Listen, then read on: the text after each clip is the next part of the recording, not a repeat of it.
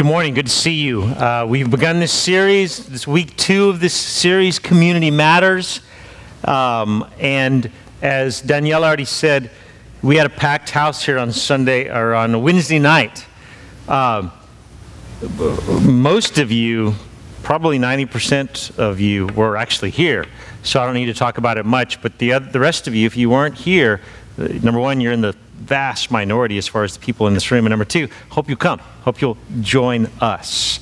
Um, last week, we, uh, we visited a verse that is, if, if, if our series had a theme verse, it would be uh, the theme verse.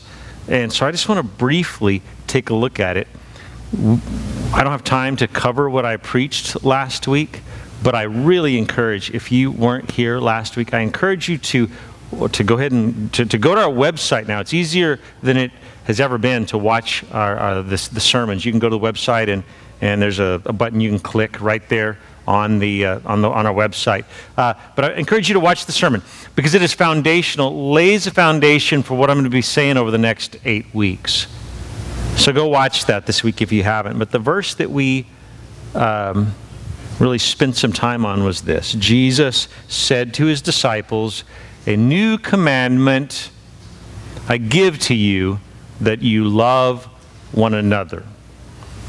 And we reviewed, or we, we talked much last week about the, the, the uniqueness of this statement. Number one, Jesus, because he wrote the 10, he gets to add one. He gets to add number 11. And we don't get to do that, he does. The other unique aspect of this verse is that he does not say to his disciples, A new commandment I give you, that you love the world. He said that in other places in other ways. He didn't say, New commandment I, I give you, that you love the outcast, or that you love the unlovely, or that you love the, the, uh, the, the, widow and the orphan and the immigrant, uh, uh, or your neighbor. He, he doesn't, he says that other places, but the uniqueness of this verse is that he looks at 12 ragtag uh, men who have been, uh, who've sacrificed much to follow him for the last three years. And he says, Gentlemen, you love one another. That's the new commandment. So today we're going to stay in John chapter 13 and we're going to look at a passage that is very familiar to some of you. And I'm going to take my time in plodding through this story, though it is familiar to many of you. I'm going to take my time and, and I'm going to describe each step in today's story, uh, not just for those of, those of you who are, are new to the Bible. There are, there are some of us who are new to the Bible. Glad you're here. But I'm not going to take my time in this story today uh, just for you all. I'm going to take my time and and slowly move through the story. For those of us who, who find the story so familiar that sometimes we, we miss out, we think there's nothing left to glean or to gather from this story because it is so familiar. Um, let's breathe it in. And, and let's see if there is maybe more for us to deal with. I, I assure you there is. The context is this the context is it is uh, almost uh, Passover in Jerusalem. That's the backstory. And so Jesus knows what, what's about to happen. He's about to go to this execution um, tool known as a cross. He knows he's headed there. Uh, it is about to be Passover. What I believe is going on in this story, in, in, in, the story of Passover, is God the Father in heaven is now drawing a crowd.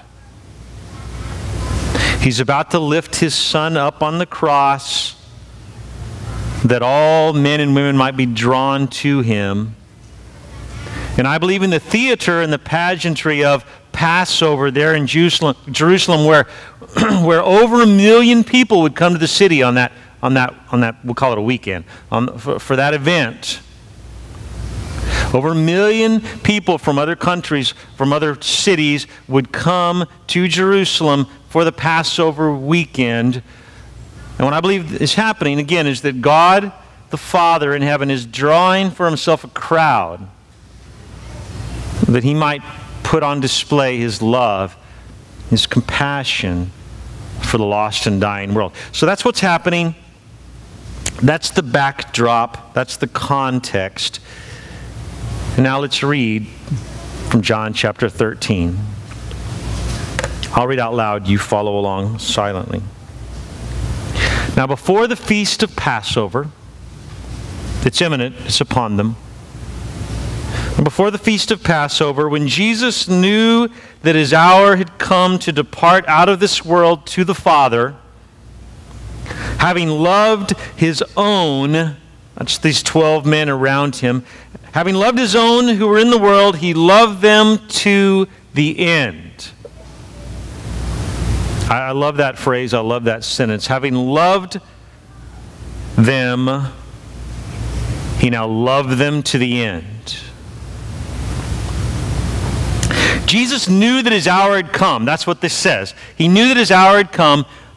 What does that mean? It, it, it, it, yes, it means that he, he, he knows that, that, that he's about to go to the cross, but it means so much more than that. He knows that, that what, what the Father had, had always intended to do, it's, it's now going to happen. It's now it's now going to come to fruition, though he, is, he, has, he has had this attitude of God the Father, if there's any other way of doing this, if there's any other way of, of, of, of saving the world, then let's go that route. But if not, if this is it, if this is what, what your will is, Father, then not my will, but your will. That has been Jesus' attitude during, during all his years of ministry, I believe.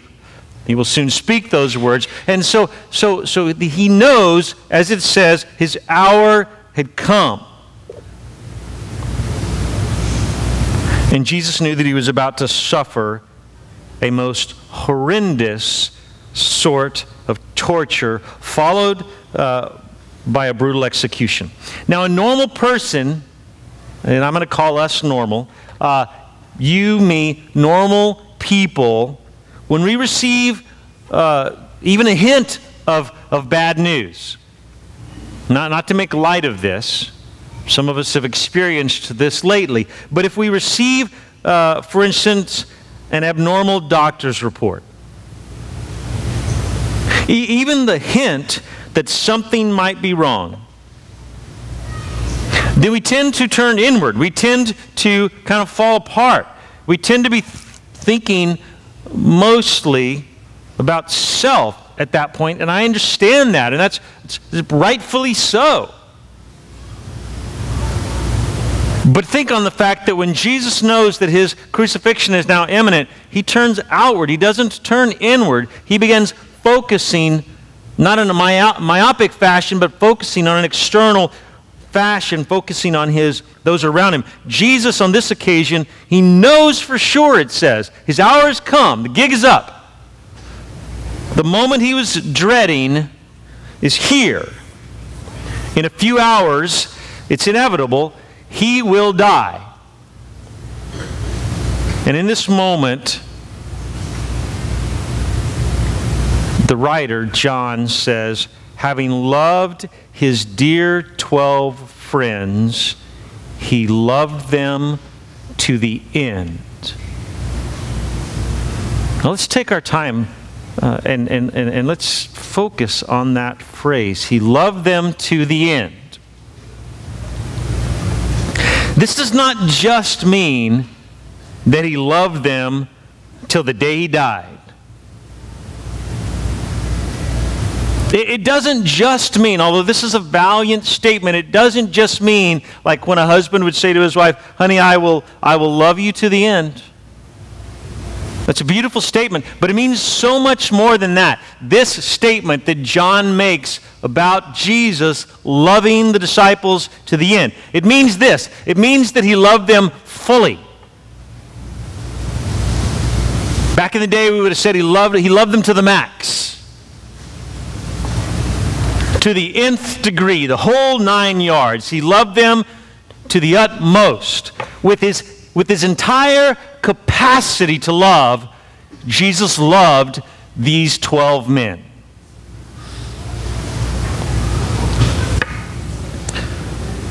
The whole ball of wax, the, the whole enchilada, however you want to say it, he loved them with all the capacity that he had to love them. He loved, he loved Thomas, who would famously doubt Jesus, doubt that he had actually defeated death. Doubting Thomas, the one who would say, Unless I see physical proof, I won't believe it. Jesus loved Thomas to the end, to the nth degree. Jesus loved Peter. Peter, the, the, the, the, the prideful, arrogant, always running ahead. Peter, who, who, when the chips were down, he would deny Jesus. Jesus knew that ahead of time. You will deny me three times before the rooster crows, before the sun even comes up. In just a few verses, he's going to tell him that. You will deny me three times. And yet, Jesus loved Peter to the end.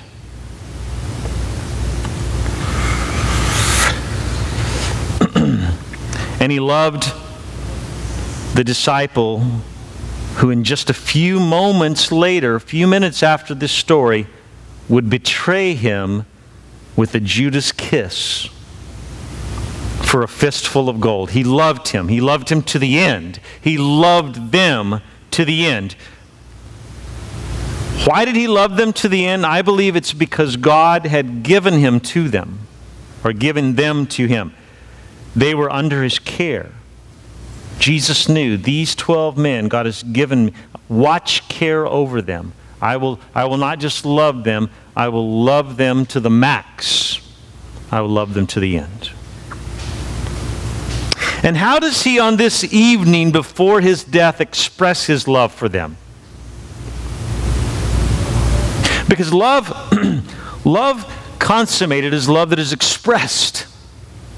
Love that's hidden never talked about, never on display, is, is not full love. It's, it's, not, it's not a love that is, that, is, that, is, that is expressed in its fullest capacity. But, but Jesus, how does he this evening, before his death, express his love in its fullest extent?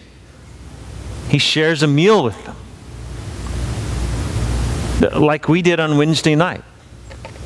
Like we will this coming Wednesday night. There's just something beautiful about sharing a meal. When we do that on a seasonal basis as a church, and, and when we do that for the next eight weeks, I just go home every Wednesday night, or if it's, if it's a, a Christmas Eve meal, or if it's a Thanksgiving meal that we share together, I always go home just with a glow. There's just something about sharing a meal together. But Jesus, on this, on this occasion, on this evening, he doesn't actually finish his supper.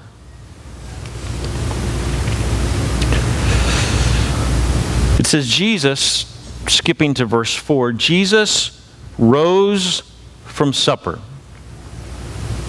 He laid aside his outer garments and taking a towel, tied it around his waist. Then he poured water into a basin and began to wash his disciples' feet and to wipe them uh, with the towel that was wrapped around him. Jesus didn't finish his supper.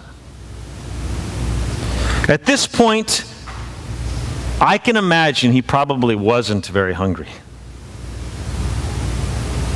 I, I, I, can imagine that his, his stomach was probably in, in knots because he's God and he's man. And he knows this is going to hurt. In every way, what I'm experience is going to hurt. So, so he rose from the table. They would have been reclining, almost lying on a table, a really low slung table. That was the culture of the day. That's how they would have been eating. He would have, he would have, he, he rose up and he took care of a very menial, very real need. The task of washing feet was surely above his status. He's a rabbi, he is a teacher, he has these 12 students that, that are in, in, a, in a formal fashion following him around for years as he, the rabbi, pours into their lives the disciples, the students. In the culture of the day, that was a very formal relationship that he had with them. He rises up to, to, to wash their feet. Now, I was going to bring my fishing, my, my chanclas that I, fish, that I fish with, and I was going to show them to you. And I didn't bring them for one reason, and that is because, because they stink.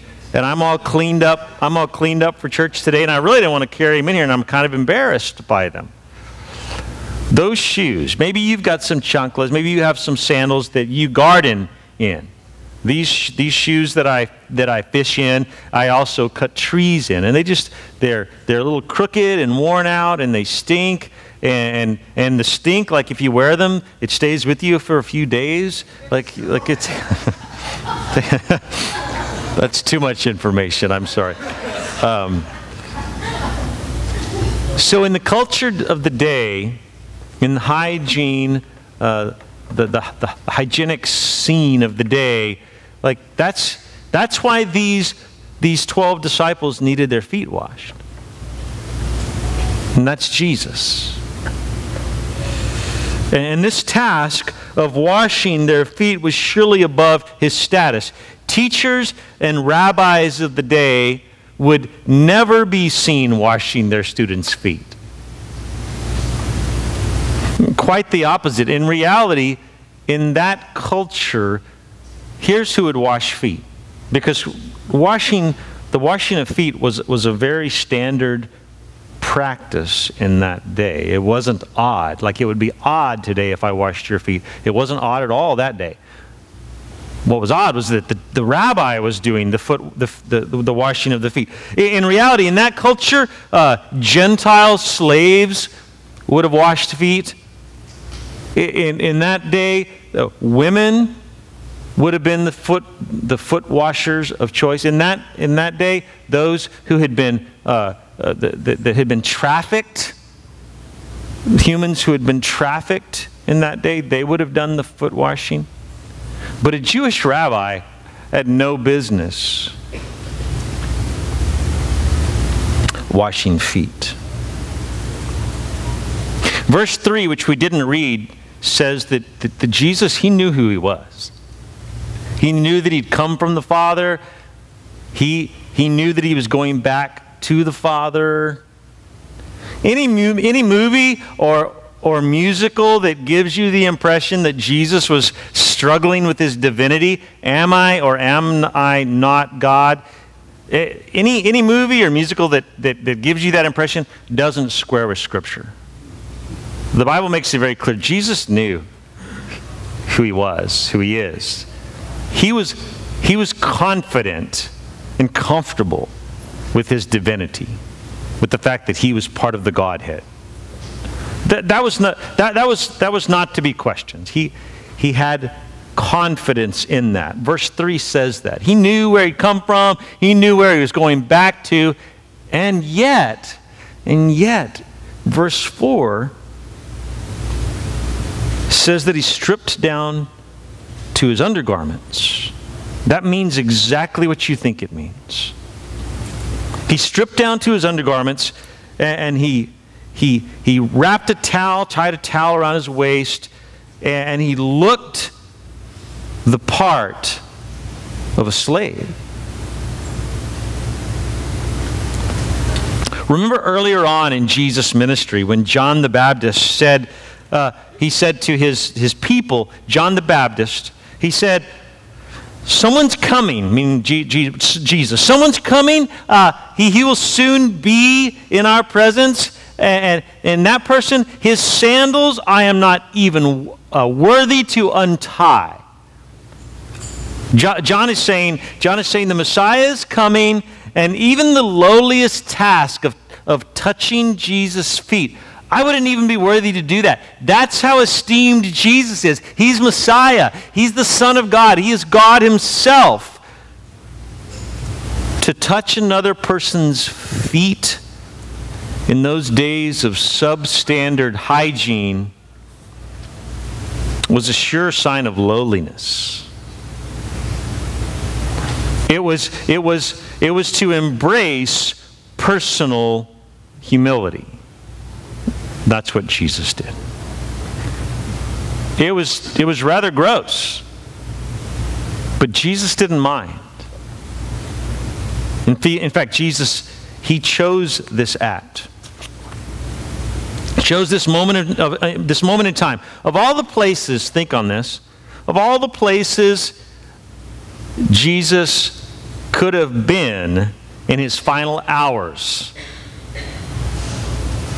Look, you and me, like Sundays at 11, like even Sundays at 11, like, man, I got like a million places I ought to be right now. Think on this Jesus, the final hours of his life, all the places that he could have been. And this is where he wanted to be. And this is what he wanted to be doing.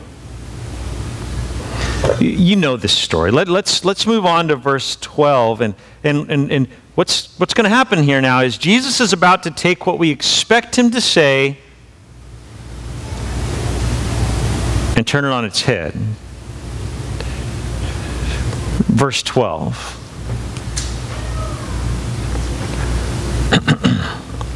when he had washed their feet and put on his outer garments, he got dressed again and resumed his place, would have been, which would have been again reclining at the table and leaning back on a pillow. He said to them, Do you understand what I have done to you? Verse 13, You call me teacher, and you are right, for so I am. If then you, if then, uh, or I'm sorry, if I then, your Lord and teacher, have washed your feet, you also ought to wash one another's feet. For I've given you example, an example that you also should do as I have done to you. Truly, truly, I say to you, a servant is not greater than his master nor is a messenger greater than the one who sent him. If you know these things, blessed are you if you do them. I give thanks for the word of the Lord. So Jesus finishes, he redresses, he sits down or, or reclines and he asks them, Do you understand what just happened here? And, and of course, uh, as usual, they don't. Uh, very, 12 very ordinary man, men and they, they don't fully grasp it, and I don't judge them. I would have been just as confused. I'm no brighter than them. Their rabbi had just put himself in an embarrassing situation. And perhaps they were a bit embarrassed for him, like, oh, this is, this is, this is coming unraveled. This is spiraling downward. And, and, and then Jesus says to them, If I, your Lord and teacher, have washed your feet, you also ought to. And what do we expect? I mean, you've read it now, but, but I, I would I would suggest that, that what we want to hear, what we expect to hear, is Jesus saying, If I, your Lord and teacher, have washed your feet, you ought also what to wash my feet.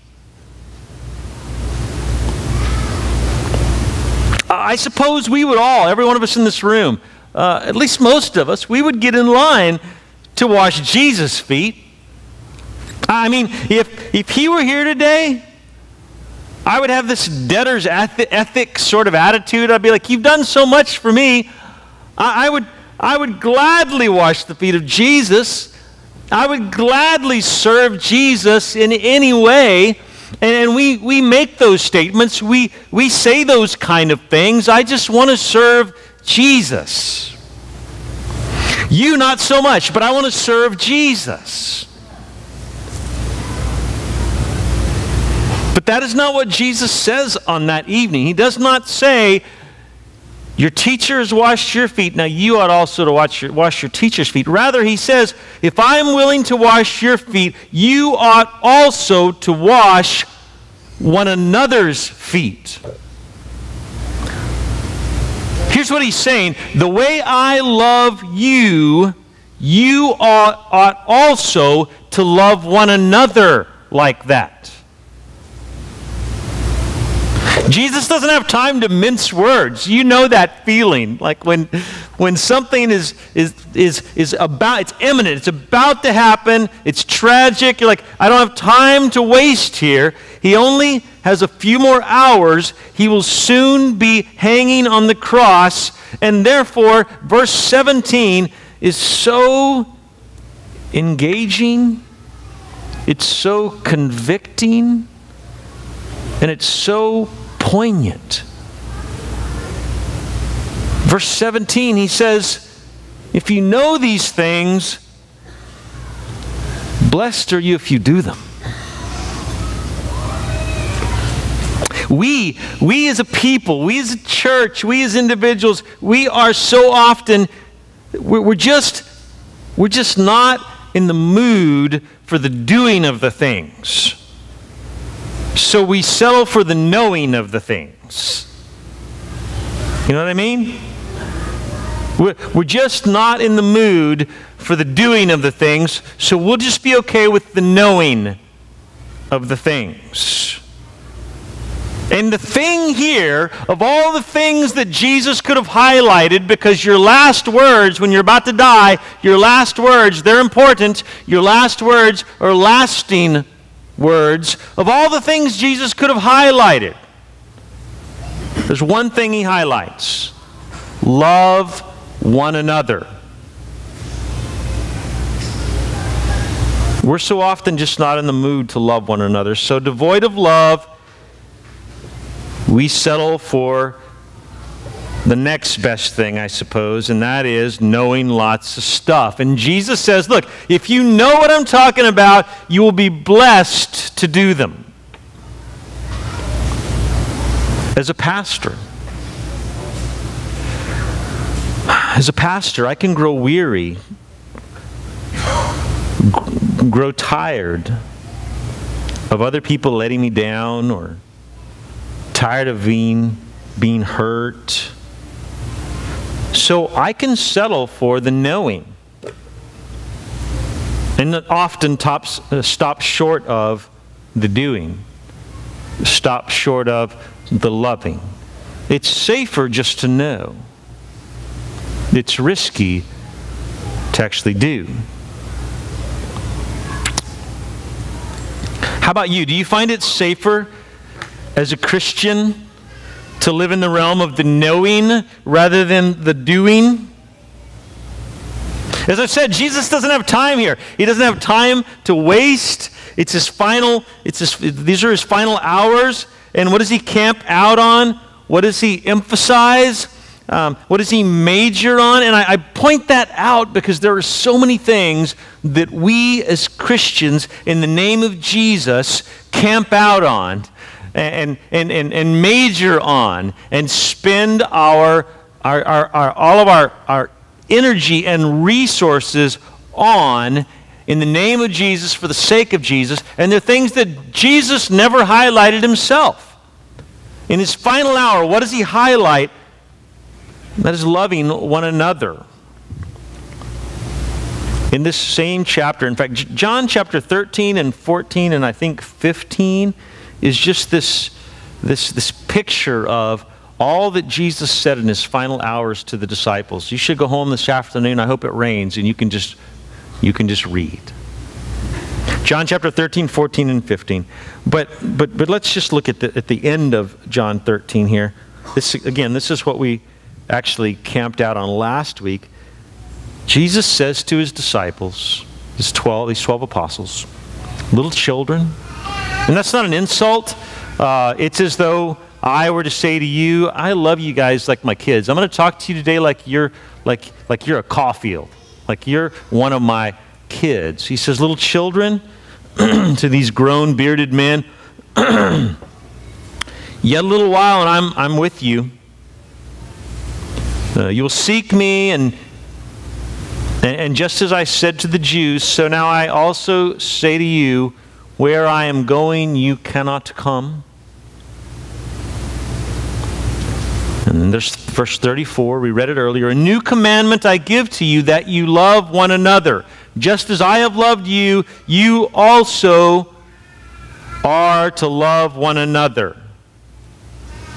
He just washed their feet. By this, all people will know that you are my disciples if you have love for one another. He's saying, Gentlemen, friends, dear brothers, you are all you've got. I mean, you're, gonna, you're going to betray me and take your own life. Um, you're going to deny me. You're going to doubt me. Uh, but, but you are all you've got. And here's what's going to get you through the next few hours, and here's what's going to get you through the next few months. And on this, I will build my church your love for one another.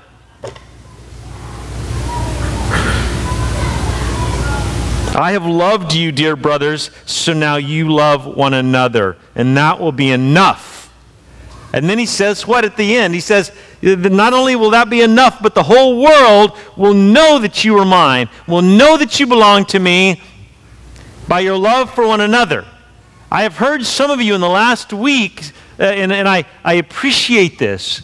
Uh, I've heard you in the last week say, Randy, I have this tension as you've preached on love. I go to work and I just I want to I want people to know me by my love, and I think that's great, and I think that's keeping in uh, in keeping with Scripture. That's not what Jesus says here. What Jesus says here is your love, disciples, for one another, is what will be this wonderful tool for evangelism as the world looks in and says, those people love each other. Now, when you go and you love your boss who's mean to you, and you go and, and you love your neighbor who's rude to you, is that, is that a beautiful picture of Jesus? Yes. That's not what Jesus is talking about here. He's talking here about our love for one another. You've all, you are all you've got. I washed your feet. Wash one another's feet. Serve one another. We're going to talk next week about how this love that we have for one another, this love that, that, that we express to one another on Wednesday night, this love that we express for one another in tangible ways throughout the week, offline, when we're not here together. Next week, next Sunday, I'm going to explain to you, unpack for you, how that is inherently evangelistic how that leads to other people being saved, how that leads to non Christians being drawn to Jesus and being drawn to River Church. I'll explain that in uh, nuts and bolts sort of a way next Sunday. But to end today, briefly, let's talk about this what it really means for Christians to love one another. What I think Jesus had in mind when he when he instructs us through John 13. You, River Church, love one another. As I have loved you, you love one another. Three simple ideas to love one another, or to, to, to, to love others well, each other well, one another well. There are really three, three big ideas here. The, the first one is this I must humble myself. Have you ever noticed? Everyone wants to be humble, but no one wants to be humbled.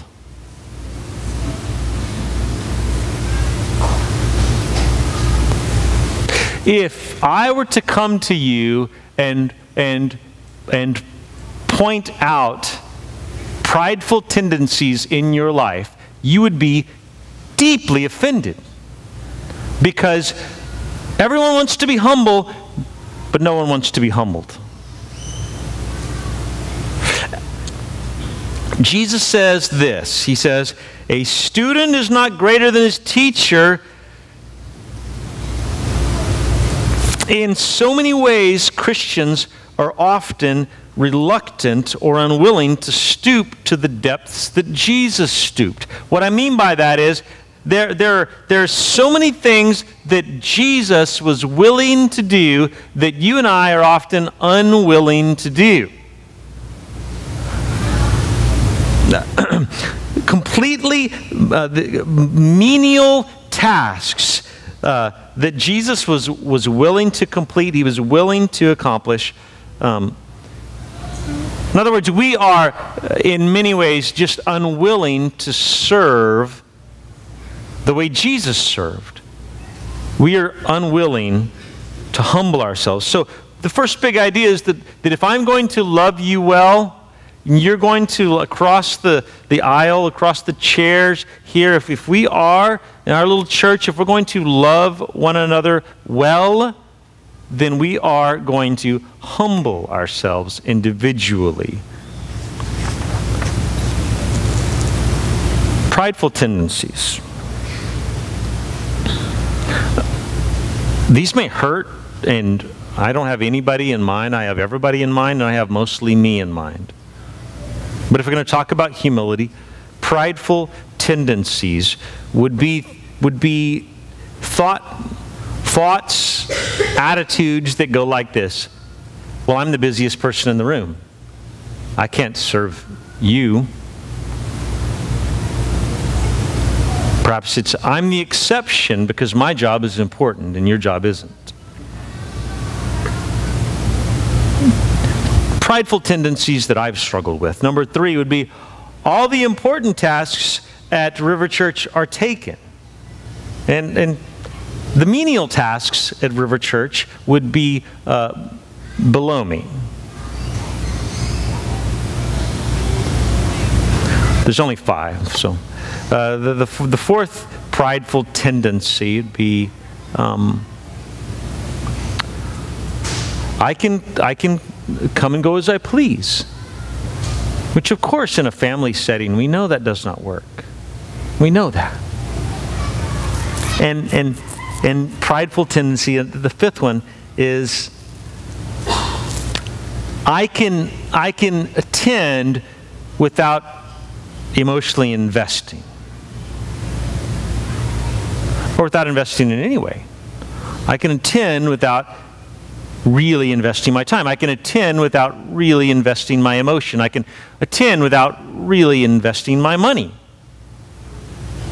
And, and what I would say is if we are going to uh, be a people who are about the doing, not just the knowing, as Jesus said, if you, if you know what I'm talking about, you will be blessed to do what I'm talking about. If we are actually going to be uh, uh, lovers, rather than just talkers, then, then the first big idea is I'm going to humble myself. And the second big idea is I'm going to make time. This is maybe the most difficult one for, for many of us. I've said this several times on purpose today. Jesus must have had a thousand other things he could have been doing on that evening. He could have been having dinner with his mom. He could have been making one more pass uh, with his healing hand uh, just, to, just to touch a few hundred more people and see them physically healed. There, there, are, I won't, there, there are many, many things that Jesus could have been doing that night. He was about to go to the cross. He was about to defeat death. He was about to ascend in, uh, to, to his heavenly uh, ascend to his heavenly Father. But on that evening, when he had many other things on his mind, perhaps, it, it seems as though he only had one thing on his mind, and that was making time to attend to the hygienic needs of his students. And really, what he's doing is he's, he's making time to, to love his friends. I often don't think I have time to serve people. I often don't think I have the time that is necessary to, to love you, to love others, to slow down, to make time for those in need. Sometimes, because we don't want to make time for people in need, what we do is we, we uh, delegitimize their need in the first place. We'd rather not, we, I'm so prideful, I don't want to give time to that need. So, what I'm going to do instead is I'm going to marginalize that need, uh, figure out ways of explaining that need away in your life, and then I don't have to give you my time because my time is precious to me. And if we are going to be lovers and not just talkers, then we're going to have to make time. As Jesus made time. And the third big idea, the last one, is this, and that is very similar to what we've already said. Uh, I'm going to have to inconvenience myself. On that night, Jesus got up from supper. He got up from his meal. The, the, the main reason I might get up from my meal is if I want more iced tea. And Nolan won't get it for me, so I have to get it myself, right? That's about the only reason I'm going to get up for my meal. But on that night, Jesus got up from his meal. They, this, may, this, may, this may have been his last meal before his execution. We don't know that, but it, it, it, it's quite possible. And he got up from it. This didn't really surprise his disciples. I'll tell you why I say that. He had always put his disciples' needs first. They worried about him because of it. Do you remember this story early in uh, Jesus' ministry? You can look it up later. It's John chapter 4. His disciples, they urged him. He was, he was, uh, he was attending to uh, he was witnessing to the, the woman at the well. He was talking to the woman at, the well. John 4, look it up later. And, and they come, they were on a, they were away in the city or they were, they were away from the well. They come back to the well and, and his disciples uh, urge Jesus to eat a bite of food. They say, Rabbi, eat. They'd like gone and gotten sandwiches or something and they came, Rabbi, eat. And he says to them, he says, I have food to eat that you do not know about. That's what he said on that day. And, and, and I, I can relate to the disciples. Here's, they thought someone else had brought him some food because he's talking about, I have food that you don't even know about. And, and he's like, oh, I guess somebody else had brought him food first. So he has to explain it to them. This is how Jesus' ministry had, had, had always been. He, he explained to them on that day, My food is different. My nourishment, my food is to, the, is to do the will of my Heavenly Father and to accomplish His work. You see, Jesus had always put His disciples' needs first. They worried about Him because of it, because they weren't like that. You see, some of the most some of the things uh, that are most important are going to create deep inconveniences in your life. Said another way, you see, some things are more important than your convenience. And that's convicting to me because I love convenience. The most weighty and pressing matters are certainly more important than my convenience. Certainly worth missing a meal or two. If I'm going to love you well, if we are going to love one another well, if we are going to be a people who are doers of the word, not just knowers of the word, then we're going to have to inconvenience ourselves. Don't wait for, don't wait for your love for the church. And I'm really talking tangible ways, and I'm really talking about this local body, River Church itself, not talking hypothetically or theoretically here. Don't wait for your love for the church to be convenient. It never will be. That's, that's not really love.